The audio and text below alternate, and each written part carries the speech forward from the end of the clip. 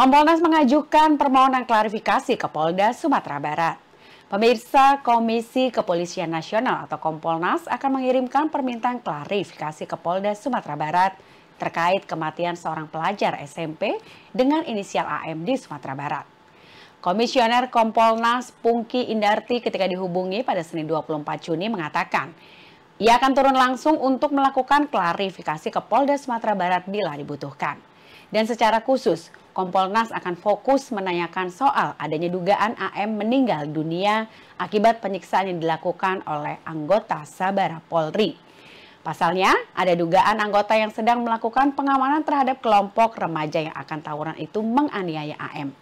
Oleh karena itu, Pongkipu menegaskan, jika ditemukan bukti AM memang dianiaya oleh anggota polisi tersebut, maka para oknum itu harus dipecat dan juga dipidana.